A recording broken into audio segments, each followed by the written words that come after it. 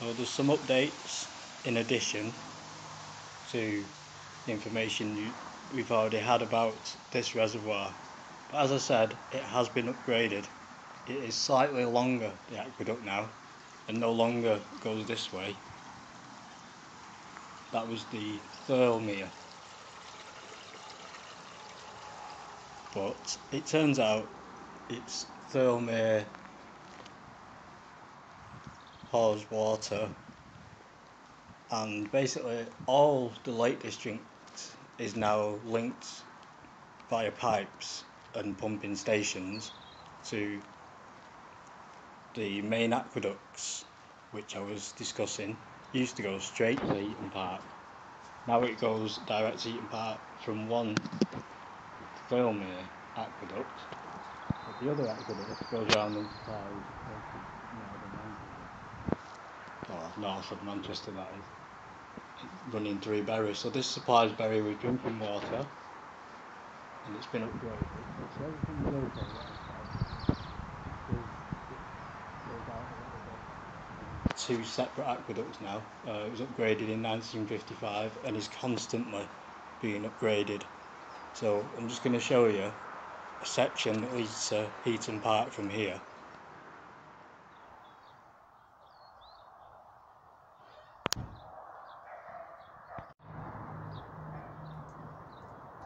So that's the start.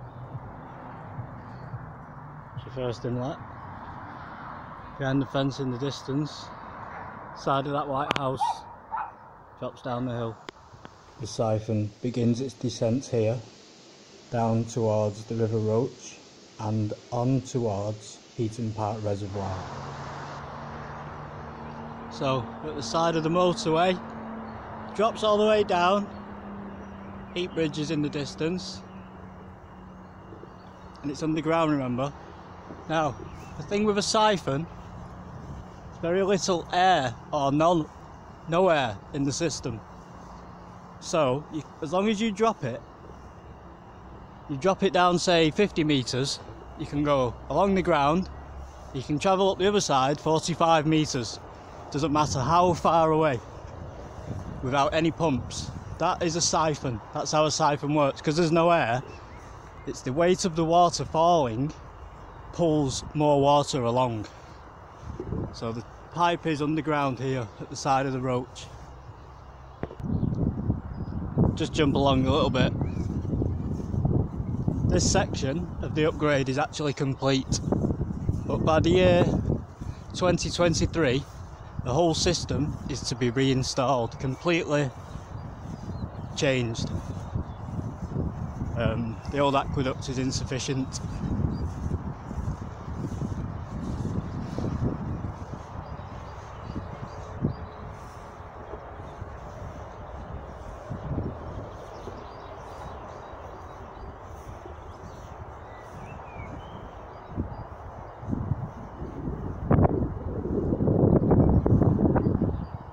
So that's strong enough evidence, it's underground here.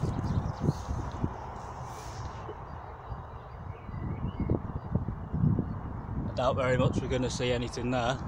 So I'm just going to shoot to the siphon over the Roch. Should pick up some depth from the sound. That'll go right through the of the gimbal you see. That's physics again. So it's quite deep. Also, grass is quite long. And although I've got quite a short distance to walk, from Heap Bridge. Woodgate Hill is in the distance and Castle Hill. And the motorway, I'll just pan across quick as we go towards the Roch because the sun's in that direction.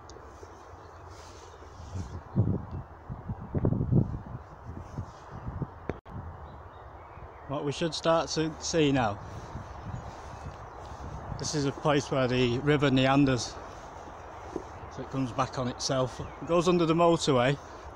You can see it, something rising up out of the ground just before the bank, the river bank.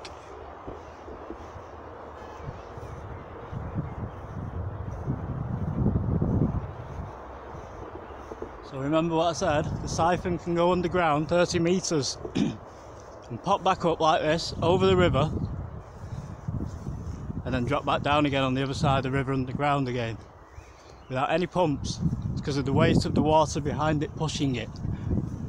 That's what this is. This is the upgraded crossing.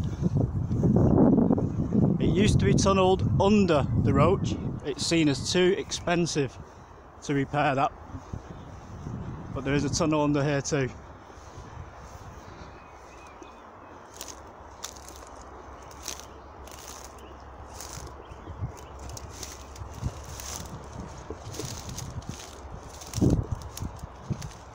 And probably the best shot we'll get from it is a private site. Dangerous site I suppose. You can see quite easily the pipe crossing over the Roch into the fields beyond. Yeah so it's part of the longest underground system in Europe. Longer than anything the Romans built. But it's the same principles as what the Romans used to do with aqueducts upgraded for the future obviously. But most sections of underwater aqueducts apparently have something like three bridges each. You will see the black brick also. It's made from crosses over there anyway. Yeah so it's bigger than anything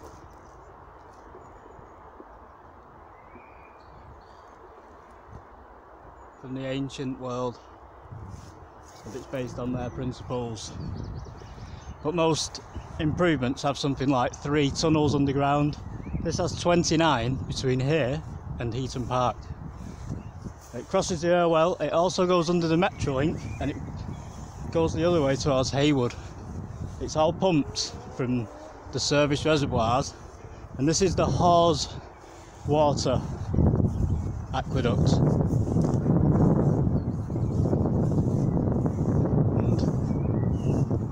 jump over through editing techniques to the other side of the Roch.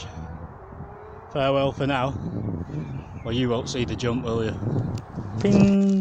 As if by magic, this is the pipe, and there's a civil engineer cover just down this road I'm on. I'm going to show you down that. I'm not sure if it's part of the aqueduct, but it's still interesting because it means the siphon goes under yet another brook and the motorway and the river.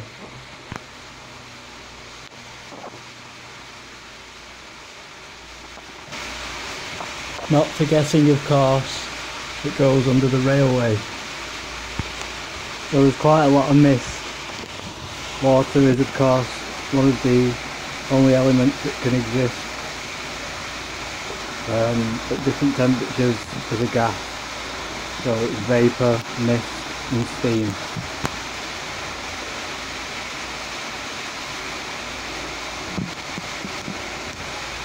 So what we've got is a mixture of water vapour and air pressure. Um, we can only use our imaginations to see what's down there with the sound. But it's a good reminder, a stark reminder, of all that's going on underneath us, all the water systems.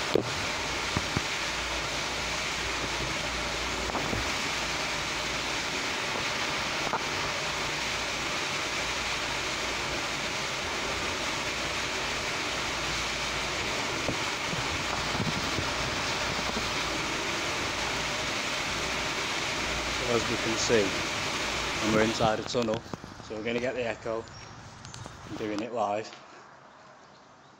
Um, zooming up there, so you can see a windmill, but that's Wood Hill.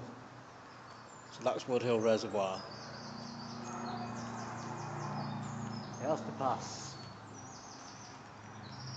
under here where the railway would have been and this tunnel would have existed at that time. So the upgrade was only finished in the 50s and they're still working on it really.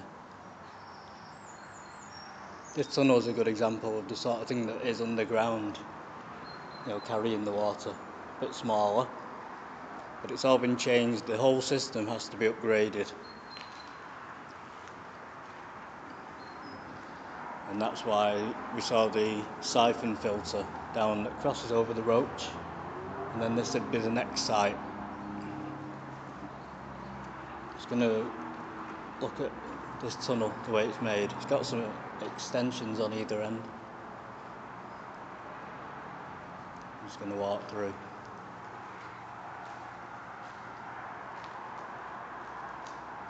Try and get some of the ceiling.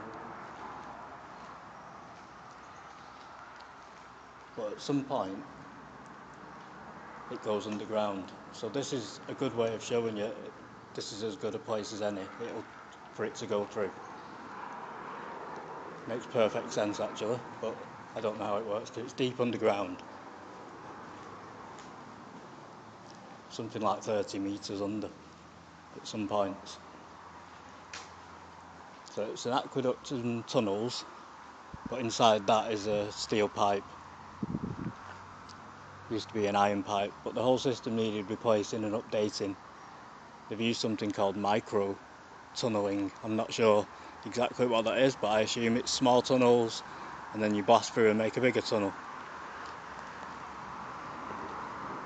So some of the old countryside pops up here, we'll get a brook. I'm forgetting the name of this brook at the moment. But this is the um, 66 section of the motorway, the M62 of course, M61 and it was the M602, M603 I think, Ring Road, all went in, you know, in the same time, part of the structure. And the water systems go underneath it all and supply all of Manchester. Uh, there's places where this aqueduct pops out and crosses the Irwell over a bridge and Woodgate Reservoir, which is the one we're discussing now, is actually linked to another reservoir close to Liverpool. Um, it's 65 metres below this reservoir, so the water flows there, gravity fed, but it can be pumped back from the reservoir to Bury if we need it in Bury. And that means they can shut down sections of aqueducts and repair them and pump directly in between the service reservoirs. Like I say, it's been upgraded. Uh, it's constantly being worked on. Literally hundreds and hundreds of miles now of siphons and pipes underneath the ground. And it really is amazing. But you can't film it. It's civil engineers to go down there. But one of the things, before you could go down and have a look, you used to check it regularly on the surface. You used to walk it and there's little markers at the surface apparently. So we're going to have a look at some of those in a future playlist. But I'm going to show you that I think I can see just at least four manhole covers. And it looks like just over, we, go, we film this brook here and then we'll go into this field and we'll see some sign. I, I think that looks like a post to identify where the aqueduct runs and it's a good enough guess and it's in direct alignment with everything else we've seen.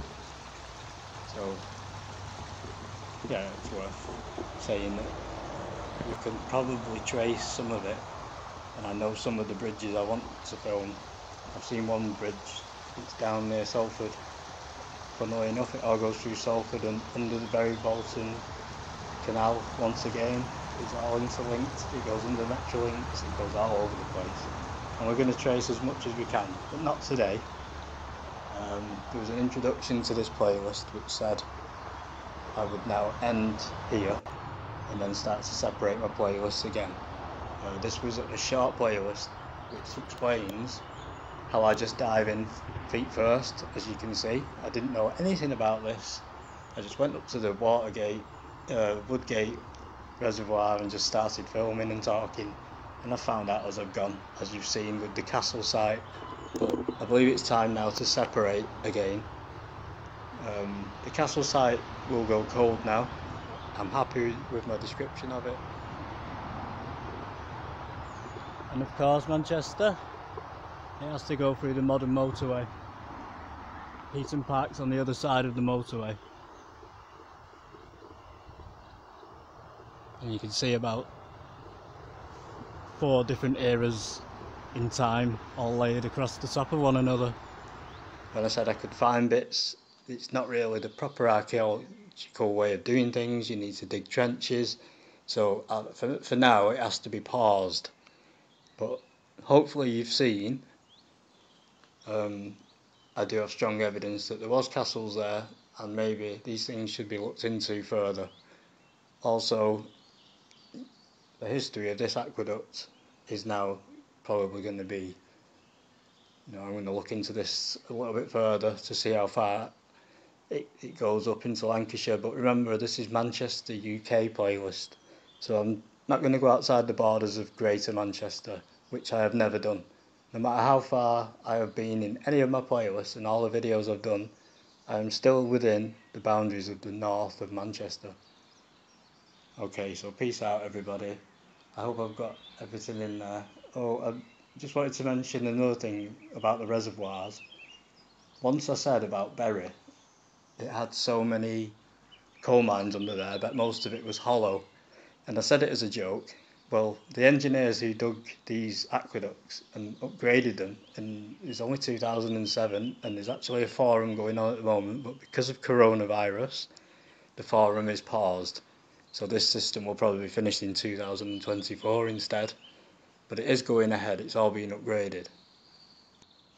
But when they dug, they had a great difficulty with the sections because they kept tunnelling into solid rock. Then there was like four miles of peat bogs and then just open, empty, um, like coal mines. They're just drilling through and suddenly there's massive open caverns that they had to secure with concrete and so half of it was missing. Yeah, so it goes through red sandstone, granite rock, slate, has to go under rivers, it goes through peat bogs, it goes through open spaces, but imagine that's not as easy as it sounds because the water can't just flood the coal mine and then it contaminate the water.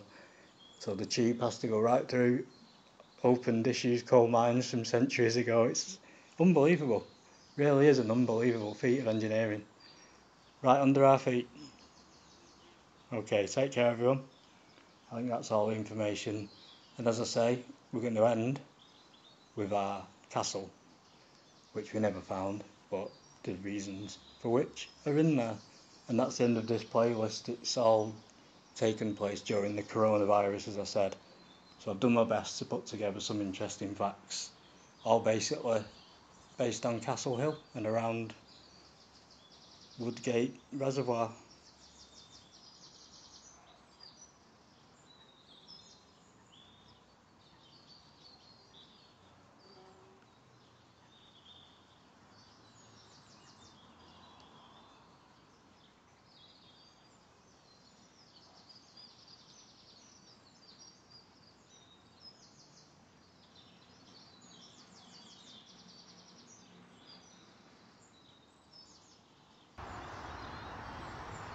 Peace out, Manchester. Oh yeah, 75 years from the end of the Second World War.